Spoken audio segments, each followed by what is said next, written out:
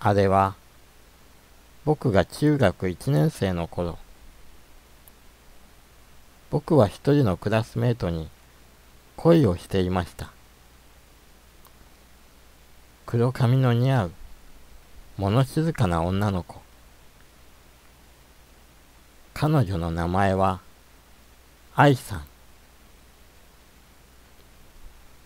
一学期が終わる頃僕は彼女に告白をしようと決めていました。とそんなある日小さな奇跡が起きたのです。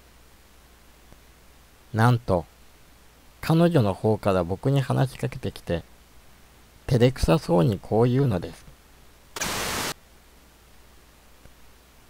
今日放課後時間ある？アソドック君に話したいことがあって。僕は自分の心臓の音が速くなるのを感じました。でも、必死に冷静さを装い、話したいことってと聞き返します。すると彼女は頬をあからめ、ここではちょっと。放課後、体育館裏のクスノキの下に来て、そこならきっと誰も来ないから。とだけ話しかけて行きました。僕はその後ろ姿を眺めながらなんだか不思議な気持ちになったのです。もう彼女とこんな風に話せるのは最後のようなそんな不思議な気持ちに。放課後僕は待ち合わせの場所体育館裏へと急ぎました。彼女の言った通りそこには誰もいません。それもそのはずです。僕の通う学校にはある言い伝えがあるのですから。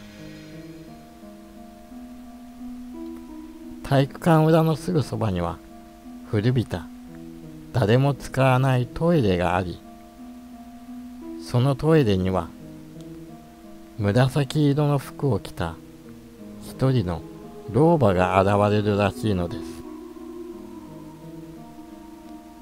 す。その老婆には影がない。そうこの世のものではないのです。そしてその老婆と出会った者は二度と元の世界には戻ってこられない。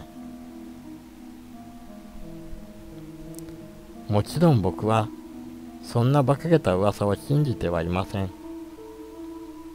それよりもその時は愛さんのことで頭がいっぱいだったので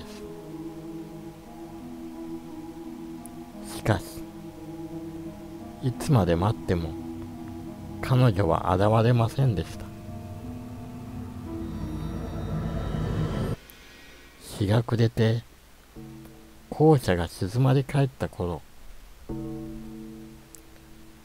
ブオーンとあのトイレの街灯が一人でに青白く光ったその瞬間冷たい何かが僕の肩を叩きました。驚いて振り返るとそこにいたのは愛さんでした。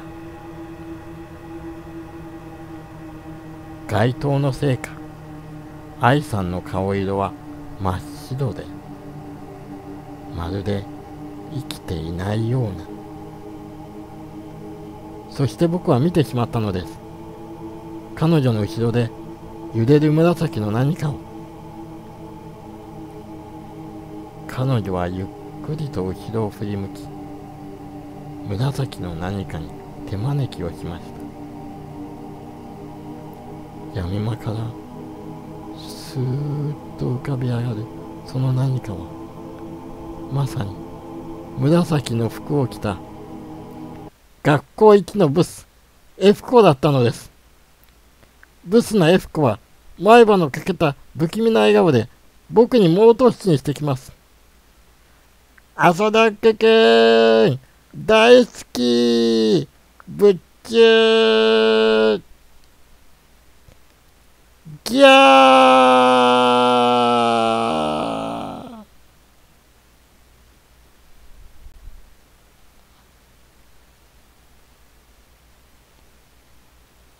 そして僕は楽しかった中学生生活に二度と戻っては来られなかったのです。